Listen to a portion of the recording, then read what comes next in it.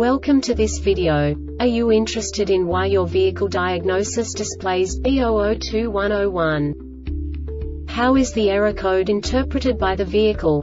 What does B002101 mean, or how to correct this fault? Today we will find answers to these questions together. Let's do this. First, let's look at the history of diagnostic fault code composition according to the OBD2 protocol, which is unified for all automakers since 2000. We divide the electric system of automobile into the four basic units.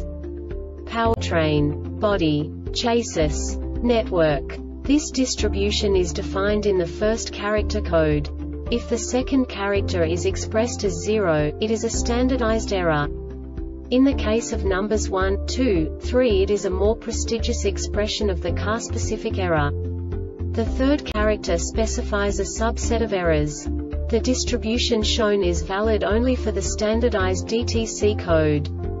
Only the last two characters define the specific fault of the group. The add-on to the error code serves to specify the status in more detail. For example, a short to the ground. Let's not forget that such a division is valid only if the other character code is expressed by the number 0. Our website airbagreset.sk produces useful videos for you. You do not have to go through the OBD2 protocol anymore to know how to troubleshoot any car breakdown. You will find all the diagnostic codes that can be diagnosed in a Pontiac vehicles. Also many other useful things. The following demonstration will help you look into the world of software for car control units. You unbelievably can move the video a bit further. The error code is split into two bytes consisting of 16 bits. One bit is the basic unit that each computer works with. The bit has two logical states. 0, low level, 1, high level. By combining the first two bits, the basic character of the error code is expressed.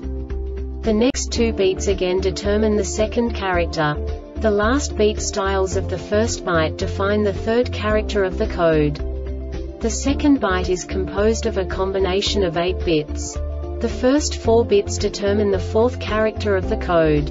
And the combination of the last 4 bits defines the fifth character. A single byte conceals 256 possible combinations. We now know in what way the diagnostic tool translates the received information into a more comprehensible format. The number itself does not make sense to us if we cannot assign information about it to what it actually expresses. So, what does the diagnostic trouble code B002101 interpret specifically Pontiac car manufacturers? The basic definition is passenger seat side airbag deployment loop short to battery. And now this is a short description of this DTC code. Ignition voltage is between 9 to 16 volts. This diagnostic error occurs most often in these cases. The passenger seat side airbag high and or, or low circuit is short to voltage for 120 milliseconds general electrical failure This subtype is used for general electrical failures that cannot be assigned to a specific subtype category information and no subtype information, e.g. DTC 803901 B0039 01 second row right frontal stage 1 deployment control, general electrical failure.